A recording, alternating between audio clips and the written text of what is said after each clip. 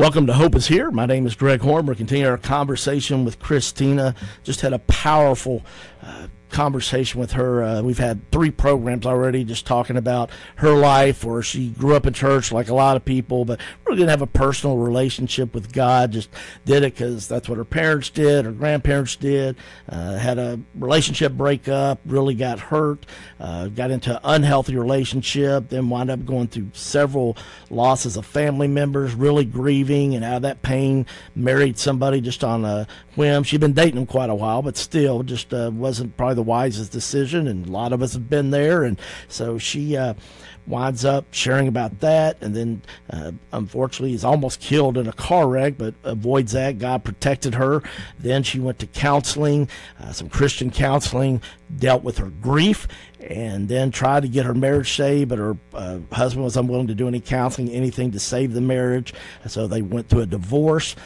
Then um, she go through a divorce recovery program and uh, learned a lot, dealt with the grief, uh, finished, continued dealing with the grief. Uh, one of the things that we didn't talk in detail about, but she also uh, gained a community during that divorce recovery. And man, we need a community of people that can kind of relate to some of the pain in their life, don't we, Christine? Yeah, it's a community I still keep. Before I was going to come on this program, I had them praying for my testimony and uh, going to a basketball game with uh, with one tonight.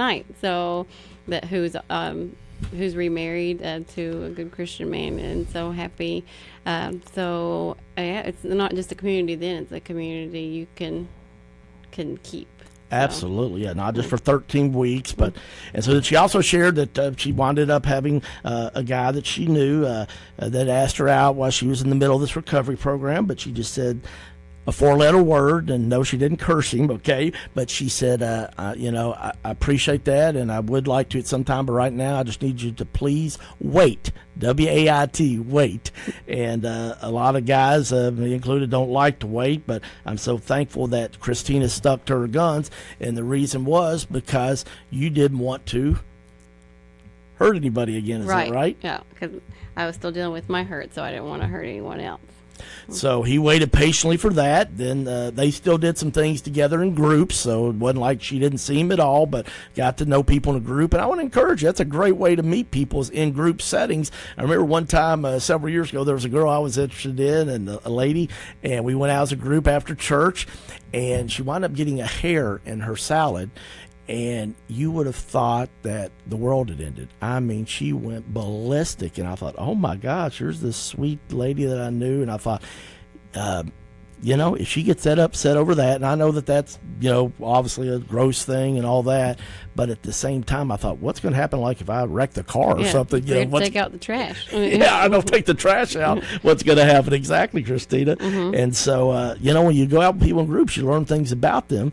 Then she winded up sharing also after that, and she completed the divorce recovery. They only went out a couple times a month.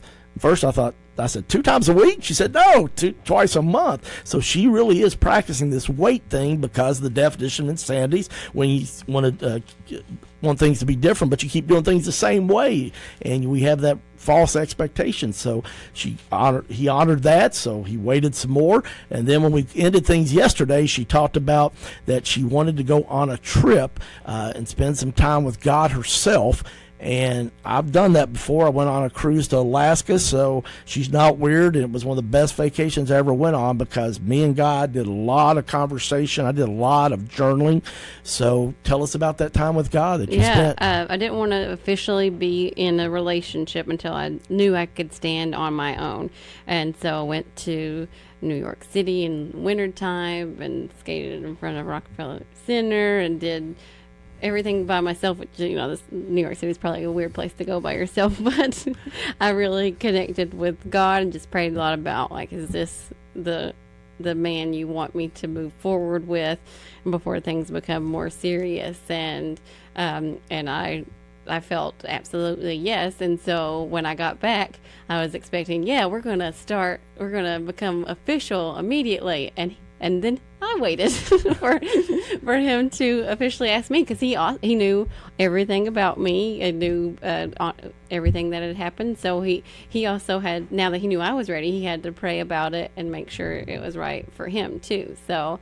Um, so then the um, relationship became official, and a few uh, months later, we rededicated our lives and were baptized in a pond together uh, with our families there, and um, we the relationship progressed uh, more and more, and we finally started talking about our desire to get married. And we decided to attend premarital counseling, but we did it before we got engaged, uh, just because of my history and and his thinking before that he would never get married. He just thought that marriage wasn't for him.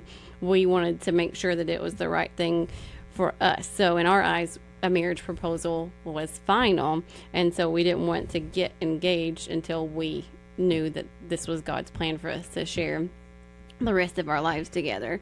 So we got uh, set up for a pre-marriage counseling program. We thought, well, if this is right for us, well, uh, we might get engaged within the next year, and that was not God's plan at all. We went through the premarital counseling. We took it very seriously. We did our homework. We would go out to eat after the counseling sessions and talk about what we thought about the uh, the criteria. And we um, it was uh, just a really moving experience and we ended up getting engaged a couple of months after that we finished the premarital counseling program and then we would decide and we decided we were going to get married that same year which was just about five months later. So we had got engaged and we set a date. Uh, so things moved much faster than we thought. But but there was a lot of waiting that went in before that. On oh yeah, a lot waiting before that. But things moved much faster with the engagement to marriage than we thought. But I love though what you said. You know, after you know you had shared all your luggage, okay, uh, you know, baggage, your mistakes, your hurts, whatever. Um, he still accepted you, but he knew that on the front end, you knew about him. He was up front that I don't know if you know I ever thought I would get married, and yet then he wanted to go and pray and spend time God and with God. And as you guys both waited, God clearly showed you both that you were supposed to be in the relationship, but because you took it so seriously, and if you're in a you know a serious relationship, there's nothing wrong with going and uh, doing a premarital uh, counseling. Okay, with that, find out, save yourself a lot of heartache and yeah, pain. I recommend that uh, very much doing it before you ever were to get engaged. Um, that way, you don't have the distraction of the wedding planning mm. going on with you. Because we would we would see people in class that were already engaged and their wedding dates already set. So then you have that pressure of, well, we don't want to call off this wedding. We've already spent all of this money, and um, oh, and then sitting doodling wedding plans when you, mm. you know, wow, that's a great point. Listening going on, so it just completely removes that distraction. All right, but I know that's a word for somebody that's in a fairly seriously serious relationship. You may not have the ring yet, but uh, those things are available a lot of different churches. So, I encourage you to look into that. So, so you went through that. God definitely said, "Hey, you guys." We're going to be together. I want you to be married. So um, you got married, and then unfortunately, uh, once again, I heard Wayne Smith say one time, uh, God had only one son without sin, no son or daughter without sorrow.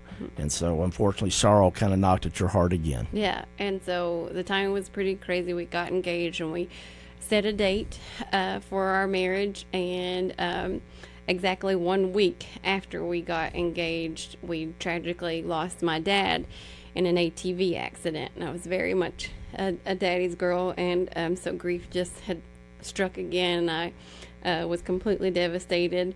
But so this was the worst grief I'd ever faced, but this time it was different because I was able to face it with God. And um, so I knew what had happened to me before, that I didn't deal with grief and then became a hurt person that hurt people. And so I, re- I resumed counseling.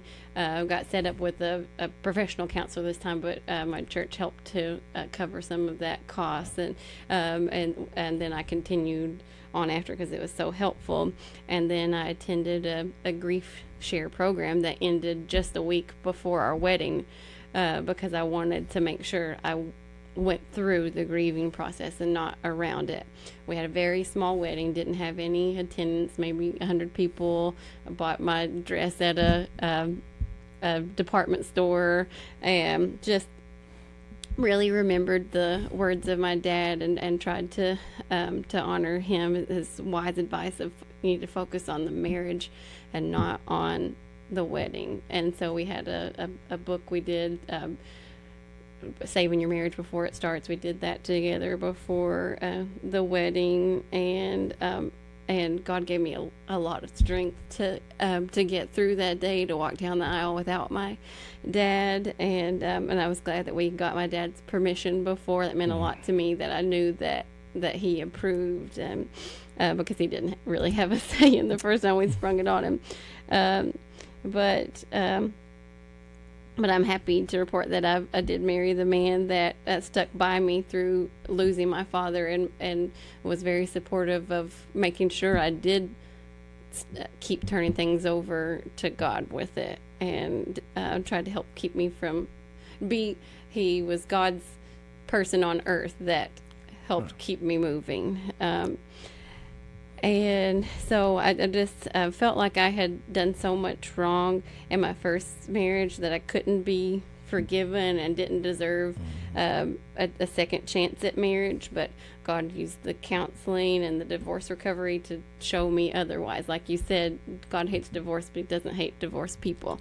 So I've been forgiven, and um, I've told you before that I believed in God because I was taught to do so, but now I believe because I saw how He brought me back from the dead. Mm. Um, and so I went through uh, grief with uh, without Him and with Him, and I don't know how I made it the first time without Him.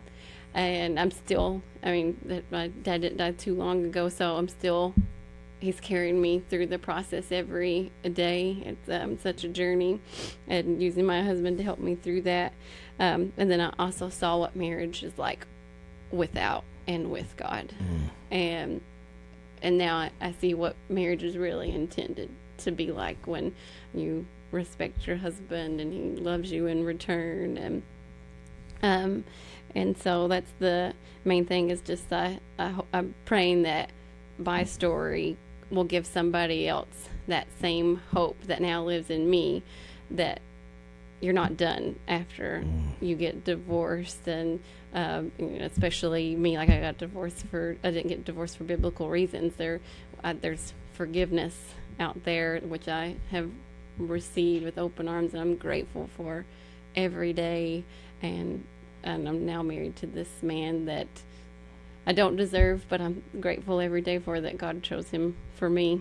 So. Well, I'm sure uh, he feels the same way about you. And, you know, the thing I want to remind you, if you hadn't heard the other programs, is that she went to counseling and she tried to get her first marriage, her husband, her former spouse, to uh, go to uh, counseling several times, and he wouldn't do it. He wasn't willing to work on it, and yeah. uh, had some addiction issues. And so, anyway, so uh, you know, don't think that she just walked out. It's no big deal. You know, there was a lot of prayer, thought, and efforts made, but unfortunately, uh, at the end of the day, uh, the other partner, the other spouse, was not willing to make that effort. But here's the deal: maybe you're the one that you know whatever you've been through divorce. We just the big thing i want you to know is god loves you not where you could be not where you should be but exactly where you are and that the ground is level at the foot of the cross and that jesus will help heal your broken heart. Any closing thing that you want to share christina?